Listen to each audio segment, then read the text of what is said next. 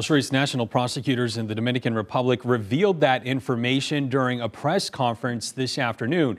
They also say the three masterminds behind the shooting who were recently arrested will be held in prison for one year as the investigation continues. They join 11 others who were previously arrested. Now, charges include assassination attempt, association with criminals, and illegal use of weapons. Investigators also adding they are still searching for one suspect named Luis Alfredo Rivas Clase, they are now calling for him to turn himself in. De todo este grupo, solamente nos queda por apresar a Luis Alfredo Rivas Clase, allá el cirujano, a quien le hacemos un llamado a través de ustedes a que se entregue, porque nuestras unidades eh, siguen eh, tratando de, de procurarlo para apresarlo y someterlo a la acción de la justicia y que pague, igual que todos estos individuos, por los hechos que se les imputan.